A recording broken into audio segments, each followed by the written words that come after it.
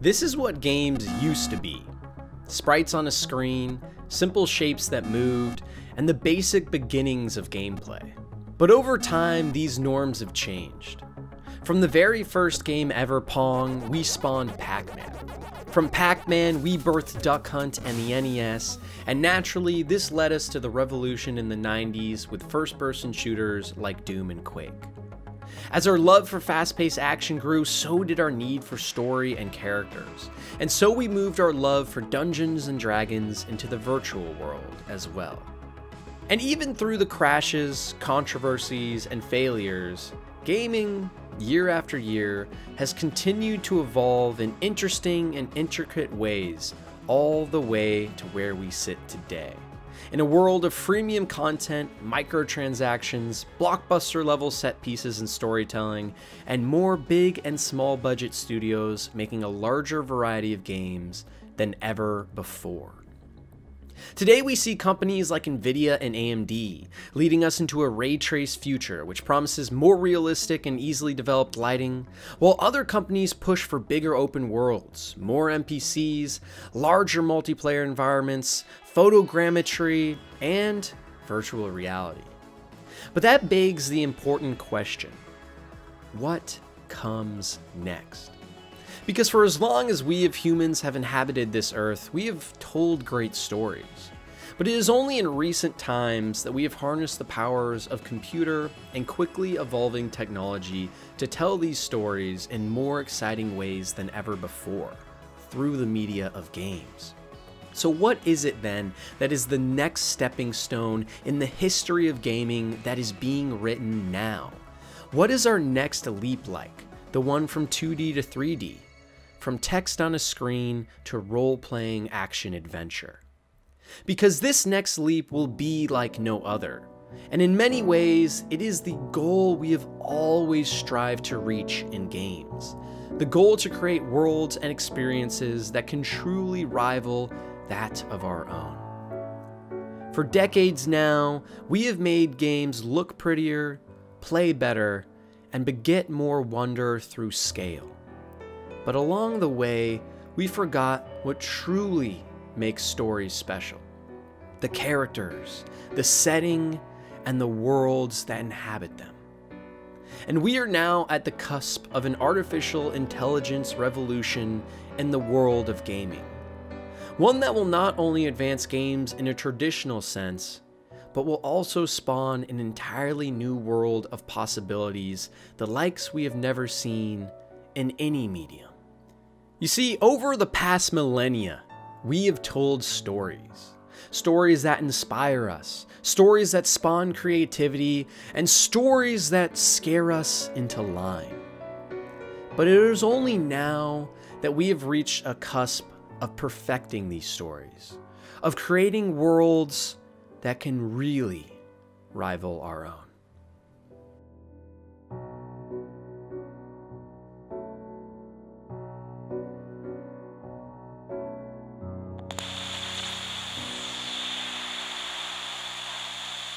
This may look like a normal game of StarCraft. Two titans warring over resources and engaging in battles all over the map with a variety of units all in real time. It's what makes StarCraft special, and also what makes it so hard. Often called the hardest video game ever created, and for good reason. Players have to manage hundreds of units and make countless decisions every second, resulting in famous clips like this. But what is different about this StarCraft match is one of the players isn't human. That's right, these units right there aren't being controlled by the next Korean StarCraft prodigy, they're being controlled by Google AlphaStar AI, based on their DeepMind program. AlphaStar is a Google deep learning algorithm that over the course of a couple weeks has taught itself to play and compete against and defeat some of the best human opponents StarCraft has to offer. A game many previously thought was too complicated for computers has now been mastered in only a couple of days. Just like Jeopardy, chess, and Go before it, StarCraft was falling once again to the power of AI. And while this is one of the most recognizable instances of artificial intelligence in gaming, one with a lot of headlines recently, it's not the only one. And more importantly, it's not what's about to change the industry. In 2014, Warner Brothers released a new game in the Lord of the Rings franchise called Middle or Earth Shadow of Mordor. On the surface, the game was a decent Assassin's Creed clone, but more importantly, it had a new standout feature called the Nemesis system. The Nemesis system promised dynamic and realistic engagements with your enemies, where they could form storylines against you as you played. And quite honestly, it actually worked pretty well. It wasn't perfect, but there was a lot of funny and interesting back and forth between orcs that had come back to avenge me killing their friend, or just talking about previous encounters that I had with them. It made the world feel distinctly more alive. Instead of just going through pre planned story beats, the way I interacted with the world changed the way in which the world interacted with me. A new dynamic we had only seen the beginning tinglings of in games like Half Life. And we can now see this in so many games as well. One of the defining features of Left 4 Dead over a decade ago was its AI director, a system in the game that dictated the flow and pace of your playthrough, throwing more or less enemies at you depending on how you were doing, and keeping the tension high throughout your game time regardless of what type of player you were. More recently, Cyberpunk 2077 incorporated a new AI driven facial animation system called JALI, which allowed them to make realistic motion capture work and animations with less effort across a multitude of different languages. In other games like Fortnite, data analytics and analysis using machine learning have led to changes in how the game is played at a fundamental level, changing what items are removed and added, all in the name of retaining the highest player base possible, as determined by the artificial intelligence models.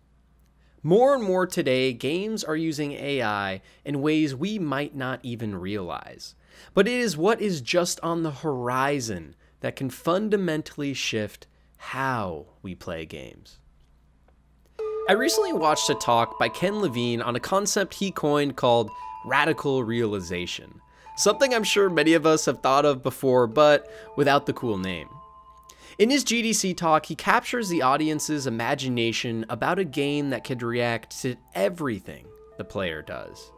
A game that has the capacity to realize anything the player is doing and spawn an appropriate reaction to that action. Think about that moment in Portal 2, when Wheatley first asks you to turn around while he works only moving the mission along when you actually do. Like that, but everywhere, and much, much more dynamic. This GDC talk, more than a lot of others, left a serious impression on me. Because this is exactly how I imagined games as a kid. When I played Oblivion in elementary school, my imagination would derive meaning and purpose from places with none. But as I have grown older with my cynicism and stubbornness, they have led me to feel like many game worlds nowadays lack a sense of realness. In Skyrim, I can kill everyone in the town, but the world doesn't change. Everywhere I go, I am not a murderous serial killer known throughout the land. The economy doesn't shift to account for an entire town now being a part of the history books. And well, the game just carries on. And that is the exact issue at stake here. Games evolve from 2D to 3D.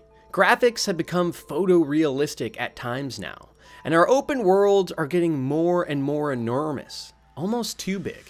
That's what she said. but at the end of the day, the actual worlds we inhabit haven't really changed all that much.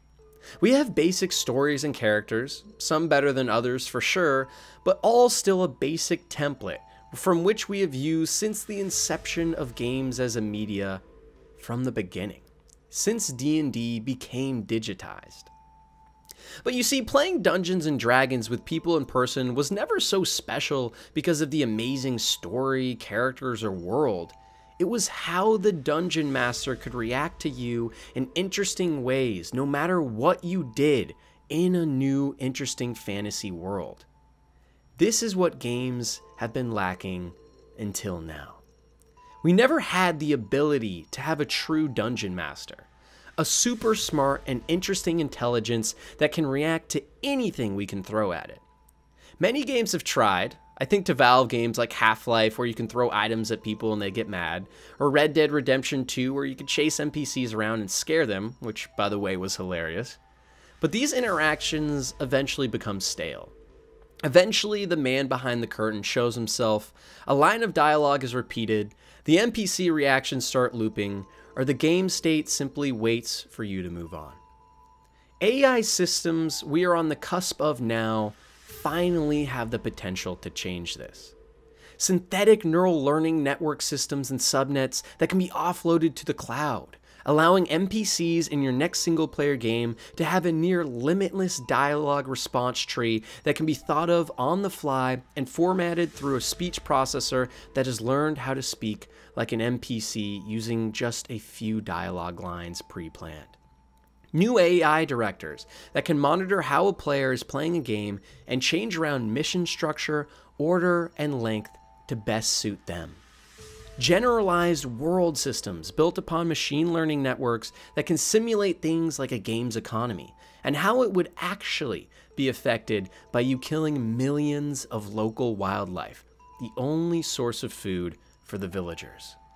This is the future of games. Because while the past decade was defined by faking it better, by making worlds look nicer so we believed it more, by making characters act more emotional so we connected more, by making more realistic gun sounds and heartfelt moments. It's now time that we focus on the next step. No longer creating fake worlds we can get lost in, but creating living, breathing simulations that change fundamentally what it is to be a game. Let's imagine a hypothetical, a game of the future. You wake up in a cell. It's wet, dark, and musty. But even worse, you aren't the only one in there. You have a cellmate, and he doesn't look especially welcoming. You stammer as you lurch forward off the ground and you make your way to the front of the cell, guarded by large iron bars filled with rust. You find a rock sitting next to you and chuck it outside your cell to grab the nearby guard's attention. Knowing you maxed out your hand to hand combat stat, as the guard approaches you, you grab him, knock him out, take the key, and then sneakily, one by one, take out each guard in the cell. The prisoners have been cheering you on the whole time, and so you let them all free. One tells you that you are located at an underground jail near a thriving village. So you make your way towards the surface. And naturally, as the one that killed the guards, you're the first out the door, met with the familiar scent of fresh air. But suddenly it strikes you. You remember that this was supposed to be your evil playthrough this time. You have no morals, and you do the unthinkable. You seal the door to the underground jail shut, and place rocks in front of the door to ensure no one can escape and will instead die a slow, agonizing death underground. This wasn't an optional objective on your quest marker. This wasn't hinted as a possible option as you played. It was simply a decision you decided to make because, well, you're an asshole. but the real interesting part now comes from the consequences you face afterwards, and how a game built upon artificial intelligence could be different.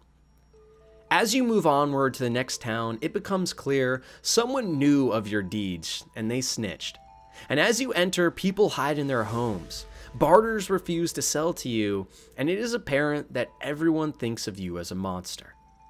The local jailer trade has halted as you have decimated their buyer's hold in the market, and so the thieves and murderers of the town are now starting to rebel, not only because of their newfound sense of power, but also their fear of being put into a place that could serve a similar fate to the jail before them. The local town slips into chaos and anarchy erupts. You narrowly escape with your life and make your way towards the next main civilization of the area a giant, sprawling city centered between two large valleys. The town is in much better shape, but the rumor of anarchy at the smaller town has made its way via a courier to the larger civilization. And now updates are being made to all of the offsite jail holdings to make sure something similar can never happen again. New quests have sprung up to catch the man responsible, but you have the option to lead others down the wrong path now. One decision you made early on has spiraled out of control and affected the world in drastic and meaningful ways. Instead of this interaction forming because of a predetermined quest, artificial intelligence systems are fully integrated into every aspect of the game.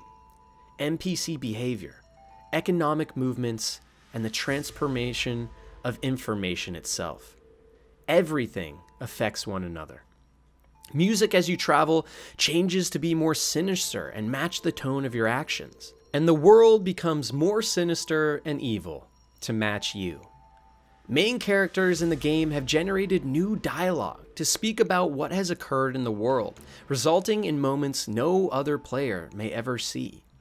Everything about the world is suddenly dynamic and constantly changing, all giving you an enormous sense of influence upon the very fabric of it.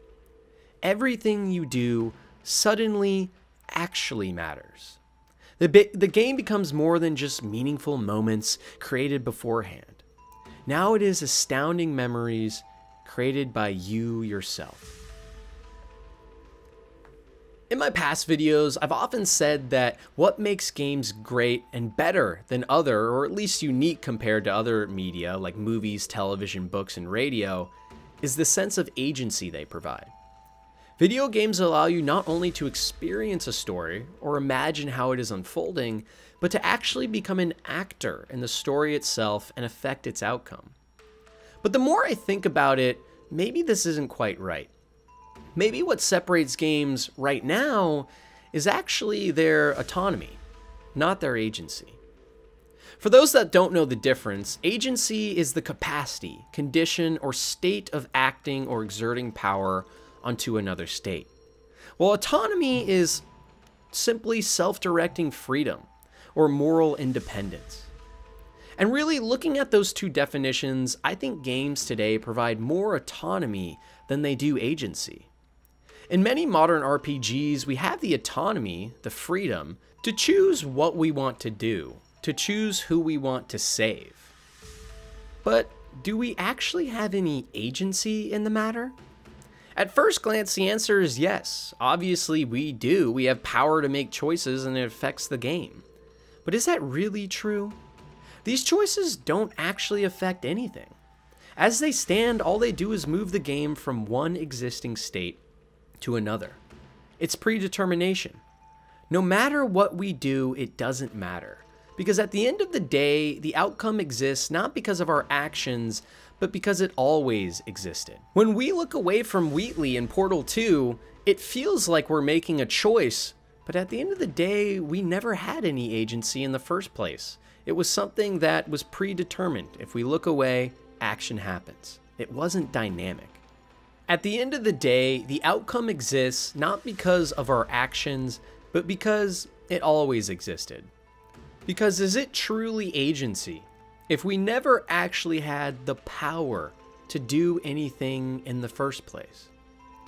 Artificial intelligence, for the first time though, in any medium, is about to give us an idea of what actual agency can feel like an actual realized capacity to assert real power upon agents that will react differently to it than those on some predestined and pre programmed routine. Through a newly born and alien pseudo intelligence. The promise of games was always that you are the hero. You make the decisions, and you are a part of the story. Until now, though, this has just been a series of better and better facades, tricks. Soon we will finally get to see the vision of an industry spawned decades ago and get to experience a wholly new type of game. The one that we've truly always wanted. One where the lines between reality and fiction start to blur.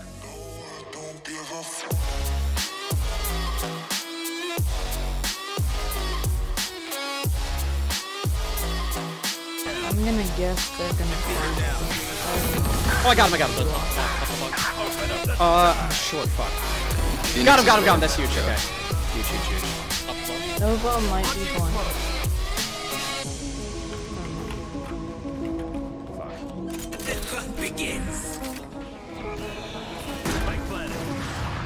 Might have dropped one. Yep.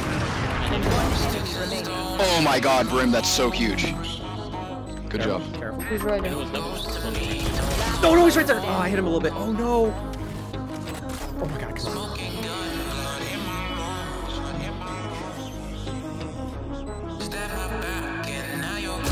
Yes! Good. job. My Okay, man! Good job, guys. Good, good Oh job. my god, let's fucking go, boys. That was fun.